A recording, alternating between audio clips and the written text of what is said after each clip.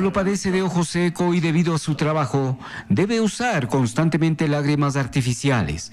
Asegura que es un problema molestoso. Por estar mucho tiempo en la computadora, eh, en realidad te da cansancio en la vista.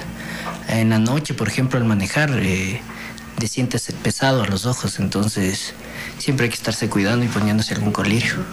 Eh, los malestares que pican y parece como que se opaca la vista.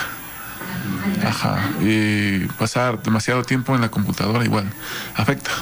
Jimmy también vive con este problema y para aliviar las molestias de sus ojos, utiliza un colirio bajo receta médica. Sí, colirio para lubricar los ojos y otro que es para contrarrestar un problema en mis ojos. La oftalmóloga me mandó unas lágrimas naturales. Entonces esos te tienes que poner cada seis horas. Esta enfermedad es más común de lo que parece. Es bastante común no solo a nivel nacional, sino internacional.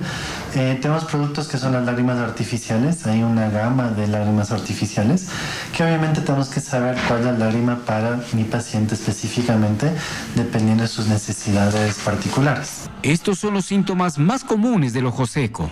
El cansancio visual, el ojo rojo, eh, visión borrosa, sobre todo visión borrosa que es transitoria.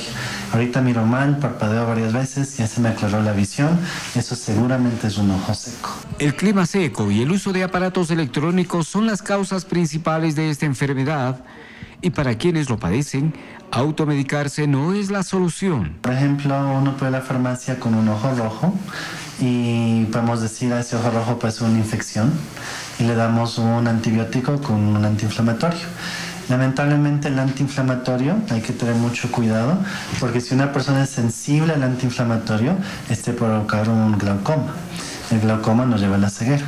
Entonces, prácticamente por no acudir al médico puedo acabar ciego y es una ceguera irreversible. A propósito del Día Mundial de la Salud Ocupacional, el ojo seco es una de las principales enfermedades que afectan a los oficinistas. Si usted cree padecer ojo seco, acérquese donde un especialista para recibir los tratamientos adecuados. En Quito, Nelson Carrera, 24 horas.